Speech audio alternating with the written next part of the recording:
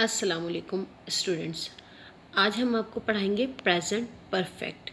ठीक है, जैसे कि जुमले से ही आपको पता चल रहा है, परफेक्ट परफेक्ट का मतलब मुकम्मल, कंप्लीट हो जाना। ठीक है तो अभी हम पढ़ाएँगे present perfect present perfect tense. ठीक है, सबसे पहले हमें पता होनी चाहिए उर्दू में हुए इसकी आइडेंटिफिकेशन। उर्दू में इसकी पहचान क्या है कि इसके आखिर में आता है चुका है, चुकी है, चुके हैं। और इंग्लिश में इसमें सबसे पहले आता है सब्जेक्ट उसके बाद आता है हैज़ या हैव उसके बाद आता है वर्ब की थर्ड फॉर्म और फिर हम यूज़ करते हैं उसके साथ रिलेटेड ऑब्जेक्ट वर्ब के हिसाब से ऑब्जेक्ट यूज़ करते हैं। ठीक है? अच्छा सब्जेक्ट तो आपको पता है सब्जेक्ट क्या क्या होते हैं? I we you they he she any boy name any girl name और इट वगैरह। ठीक है? और अब हमें ये पता होना चाहिए कि कौन से सब्जेक्ट के साथ हैज़ यूज़ होगा और कौन से सब्जेक्ट के साथ हैव यूज़ होगा। पहली बात तो हमें ये पता होनी चाहिए। ठीक है, हम हैज़ किस किस के साथ यूज़ करते हैं? हम हैज़ यूज़ करते हैं ही शी इट या कोई भी नाम हो। इसके साथ हम क्या यूज़ करते हैं? हैज़ यूज़ करते हैं।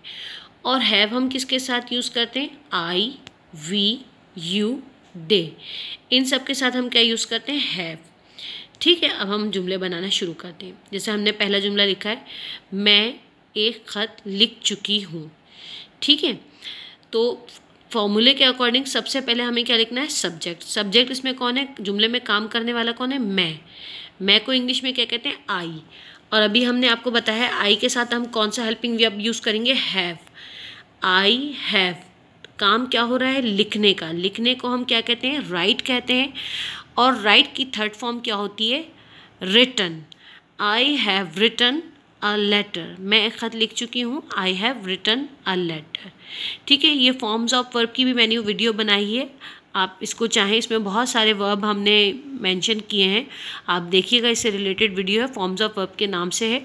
तो वो आप देखेंगे तो आपको बहुत सारे वर्ब्स मिलेंगे और उनकी फॉर्म्स मिल जाएँगी। ठीक है, अब हम जुमला बनाएँगे। आप स्कूल जा चुके हैं।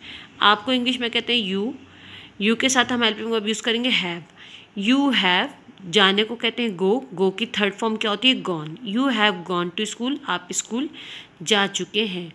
हम क्रिकेट खेल चुके हैं। हमको इंग्लिश में क्या कहते हैं? वी उसके बाद वी के साथ हम हेल्पिंग वर्ब यूज़ करेंगे हैव वी हैव खेलने को कहते हैं प्ले प्ले की थर्ड फॉर्म क्या होती है? प्ले हम क्रिकेट खेल चुके हैं। वी हैव प्लेड क्रिकेट ठीक है, उसके बाद हम जुमला बना वो एक शेर मार चुके हैं। हमें जुमले से ही अंदाज़ा हो गया, यहाँ पे वो किसके लिए यूज़ हो रहा है? थर्ड पर्सन प्लूरल ठीक है थर्ड पर्सन प्लूरल के लिए हम क्या यूज़ करते हैं? दे। वो एक शेर मार चुके हैं, दे। उसके बाद दे के साथ हम हेल्पिंग वर्ब कौन सा यूज़ करेंगे? हैज़ यूज़ नहीं करना है। हैज़ किस किस के साथ यूज़ करना है?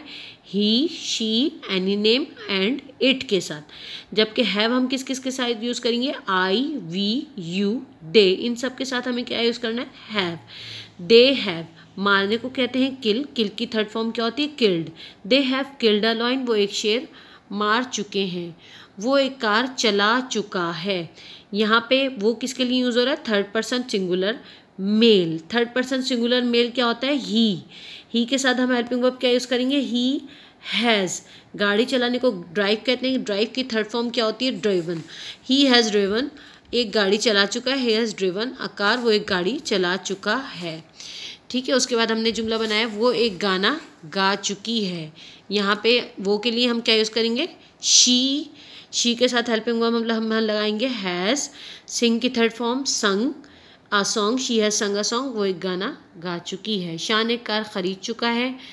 शान तो नेम है नेम इंग्लिश में भी एज इट इज़ ही आता है। शान मैंने आपको बताया एनी नेम के साथ हम ये यूज़ करेंगे has Shaan has bought a car Shaan has bike ख़रीदने को कहते हैं बाय बाइक की थर्ड फॉर्म क्या होती है? बॉट शान हैज़ बॉट अ कार शान एक कार ख़रीद चुका है। रानी एक घर बेच चुकी है। रानी हैज़ बेचने को सेल कहते हैं। सेल की थर्ड फॉर्म क्या होती है? Sold. Rani has sold a home, रानी घर बेच चुकी है। ये बिल्ली गोश्त खा चुकी है तो हम यहाँ यूज़ करेंगे it. It has eaten meat. ये कंप्यूटर तेज काम कर चुका है। It has worked. काम करने को क्या कहते हैं? वर्क वर्क की थर्ड फॉर्म क्या होती है? Worked. It has worked fast. ये तेज़ काम कर चुका है। उम्मीद है ये आपको समझ आया होगा। ठीक है, इसके आगे हम इंशाल्लाह नेक्स्ट वीडियो में मिलेंगे.